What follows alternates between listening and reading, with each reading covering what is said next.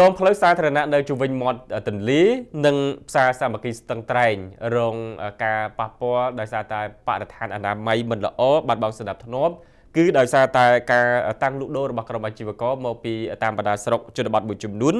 និងអាជីវករនៅក្នុងផ្សារសាមគ្គីស្ទឹងត្រែងដែលពួកគាត់មានតូបនៅក្នុងផ្សារហើយក៏ប៉ុន្តែបែរជានាំគ្នាមកដាក់លក់ដូរនៅលើផ្លូវសាធារណៈបន្ថែមទៀតដែលជាហេតុធ្វើឲ្យបាត់បង់នៅសណ្ដាប់ធ្នាប់សាធារណៈ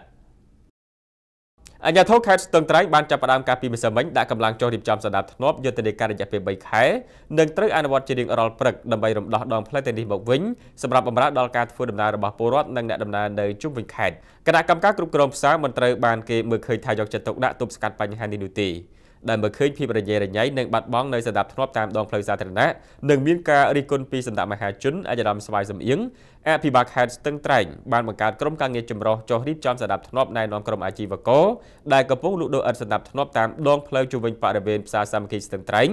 និងនៅលើផ្លូវជុំវិញរង្វង់មួមាត់ទន្លេសេកុងរួមទាំងដងផ្លូវមួយចំនួនផ្សេងទៀត។ ឧត្តមស្រីត្រីឌីបចន្ទធីស្នងការរងទទួលបន្ទុកផែនសណ្ដាប់ធ្នាប់និងចរាចរណ៍ផ្លូវទឹកបានឲ្យដឹងថាការចុះរៀបចំសណ្ដាប់ធ្នាប់តាមដងផ្លូវសាធារណៈទាំងនេះគឺមានកម្លាំងអាជ្ញាធរខេត្តអាជ្ញាធរក្រុងនិងកម្លាំងសមត្ថកិច្ចជំនាញពាក់ព័ន្ធទាំងអស់។